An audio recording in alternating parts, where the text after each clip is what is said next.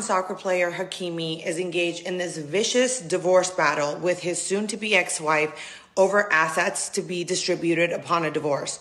The problem is Hakimi took all of his assets and put them in his mama's name. I'm going to give you tips on how to make sure you never end up in this situation. Step one, get a prenup. A prenup will mandate both parties to disclose what assets they have, where they're located, and whose name they're in. If she would have done that, she would have known from the beginning he has nothing in his name. Step two, I want you to have a provision in your prenup that requires you to get paid out for every year that you are sitting at home taking care of the family taking care of the kids.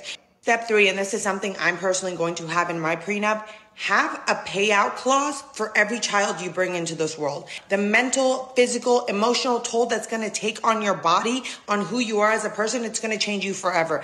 And let's be completely honest, when you are divorced and you have to go back into the dating market, they're going to treat you as a single mother with children very differently than a rich man who's divorced and has kids. It's not going to impact him or his life.